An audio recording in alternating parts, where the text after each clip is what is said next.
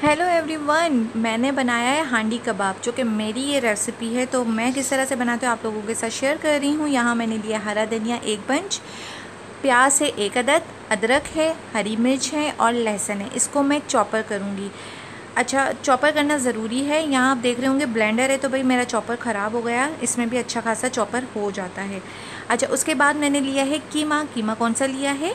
मैंने लिया है चिकन का कीमा। अच्छा एक अदर डबल रोटी ज़रूर डालूँगी बाइंडिंग के लिए ताकि अच्छा सा बाइंड हो जाए। उसके बाद आपने कीमा लेना है या अगर आपने बीफ लेना है या मटन लेना है तो उसमें कचरी पाउडर या पपीते का पेस्ट ज़रूर लगाना है। ये मसाले सारे इसमें मिक्स करूँगी। ये चिकन का कीमा है, हम लोग बीफ मटन नहीं खाते। अच्छा उसके बाद मैंने डाला है सूखा धनिया वन टेबल स्पून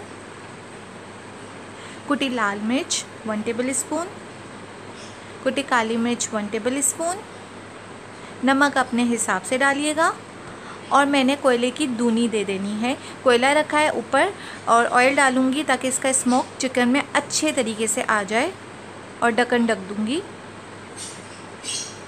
यहाँ मैं तैयार कर रही हूँ ग्रेवी तो मैंने दो अदद प्याज लिए बिल्कुल बारीक चॉप की हुई अंडे की तरह। फिर मैंने डाला है दो अद, दो चम्मच अदरक लहसुन का पेस्ट इसकी अच्छी बुनाई करूँगी। फिर मसाले डालूँगी कुटी लाल मिर्च हल्दी सूखा धनिया वन वन टेबल स्पून है ये सब और अच्छे तरीके से इसकी बुनाई करनी है।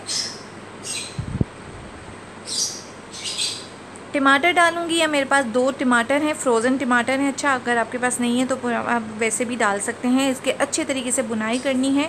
इस मसाले की बहुत अच्छी बुनाई करनी है अच्छा। और दूसरा ये फिर कुटी काली मिर्च मैंने डाला वन टेबल स्पून जब अच्छी बुनाई हो गई तो फिर मैंने ये डालने हैं कबाब और थोड़ा सा पानी डालूँगी और इसी के दम से ही ये कबाब बन जाएँगे। तो इतना मज़े का ये बनता है कढ़ाई की तरह और ऊपर हरी मिर्चें डाल दूँगी, अदरक डाल दूँगी। ये है हांडी कबाब तैयार।